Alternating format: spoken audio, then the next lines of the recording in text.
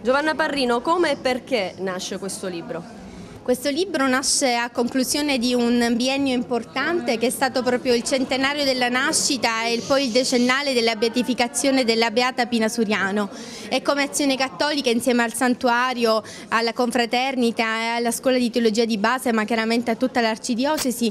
Abbiamo pensato di ehm, pubblicare tutti gli scritti della Beata Pina Suriano, è un sogno che già non è un sogno nuovo ma un sogno antico e finalmente viene alla luce. Abbiamo lavorato sul dattilo scritto di Don Andrea Soresi, abbiamo trascritto pagina per pagina proprio diari, manoscritti che sono conservati nell'archivio qui della del santuario della Beata ed è venuto fuori questo volume molto, molto significativo perché ci dice quanto la Beata ehm, abbia scritto, quanto, quanto, ehm, quanto, sia stata in grado di trasmettere il valore della fede anche attraverso la scrittura. E poi sarà bello scoprire, l'invito proprio al lettore che facciamo, scoprire quanta scrittura, quanta sacra scrittura c'è nelle pagine di Pina Suriano, quindi è, ehm, questa, questa edizione anche ci racconta un volto inedito. Oggi è, si ricordano i 65 anni dal, dal, voto, dal primo voto alle donne. Il primo febbraio del 1945 Pina Suriano ha lavorato, ha lavorato una settimana prima per proprio educare le donne al voto, per portarle al voto e quindi ci dice anche un impegno civico importante di questa beata che forse non è molto conosciuto. Padre Ruggirello, oltre 800 pagine di un volume che racchiude gli scritti della Beata Pina Suriano, ma cosa contiene questo volume? Contiene tutto quello che la Beata ha saputo affidare a delle carte. Sono carte diverse, abbiamo sia dei diari, quindi i suoi quadernetti, eh, ordinati, anzi in alcuni proprio lei si prefiggeva di riscrivere nuovamente il contenuto e poi abbiamo le lettere, o meglio le minute delle lettere, cioè quelle brutte copie che poi servivano per scrivere direttamente la lettera, che non abbiamo diciamo, nell'originale, ma abbiamo appunto queste brutte copie. Ecco, a partire da questi manoscritti, secondo un ordine che poi fu dato dalla postulazione nel 1969, noi abbiamo oggi la possibilità di avere uno spaccato anche della Partinico dal 1915 fino al 1950 attraverso la scrittura di una donna appassionata, non soltanto della fede, ma proprio come si è detto della sua città, era una donna innamorata proprio della città e anche e soprattutto di poter trasmettere a tutti l'amore che aveva per Dio perché sapeva che lei come lievito poteva trasformare proprio la, la, la città. All'interno noi troviamo eh, delle testimonianze. La prima è qualcosa di inedito, sono le parole stesse del suo primo biografo, Don Andrea Soresi, che fu anche il suo ultimo padre spirituale. Proprio lui eh, ha annotato in un libro che abbiamo voluto trascrivere, sono poche pagine, ma che ci dicono come lui ha raccolto tutti i testi. Si era rivolto alla madre. E Pina teneva in una vetrina tutti questi scritti ordinati in un archivio. Lui non ha fatto altro che prendere questi scritti e cominciarli a ordinare. Ecco, tutto questo passaggio ha facilitato tantissimo la trascrizione e noi abbiamo avuto così modo in maniera strutturata di poter eh, analizzare ogni singolo scritto.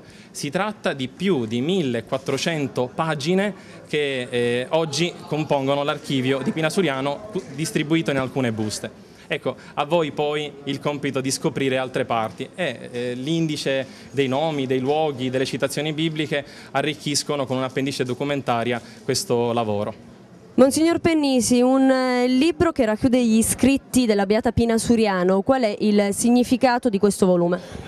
Questo volume ci aiuta a conoscere meglio la Beata Pina Suriano, ecco, una persona che non ha fatto grandi pubblicazioni, ecco, però che viene pubblicata un'opera di 800 pagine, ci fa capire come lei che era militante dell'azione cattolica e così è interessata sia nel diario, sia nelle conferenze, sia negli scritti religiosi di vari argomenti che riguardano la vocazione cristiana, che, che riguardano il compito del laicato. Lei che è stata stata un'innamorata anche della città di Partinico, si è impegnata non solo a livello religioso ma anche a livello sociale a favore delle famiglie, a favore della povertà. E quindi penso che sia ecco, veramente importante questo libro perché ci fa conoscere nella sua complessità ecco, questo, personaggio, ecco, questo personaggio che per noi è importante perché è una beata. E eh, questo qui potrebbe anche essere utile per eh, diciamo, avviare se ci sarà il miracolo anche la causa per la canonizzazione. Padre Geraci, la Beata Pina Suriano amava Partinico e questo libro cosa significa per la comunità partinicese? La Beata Pina Suriano è una partinicese, è vissuta a Partinico, ha lavorato a Partinico, faceva parte dell'azione cattolica e quindi era impegnata nelle parrocchie. Certamente Pina Suriano era arrivata alla quinta elementare, allora non c'erano scuole superiori a Partenico però ha lasciato un sacco di quaderni manoscritti per cui questi quaderni io li conservavo qua nell'archivio del santuario intitolato a lei. Quando io sono stato nominato rettore del santuario avevo questo desiderio di vedere pubblicati questi quaderni, questi manoscritti, chiamiamoli così, finalmente questo sogno è diventato realtà. Per cui questa sera presentiamo questo libro, un libro abbastanza eh, voluminoso e con questo libro ecco, tutti i devoti della Beata possono ecco, eh, leggere tutti gli scritti della nostra Beata.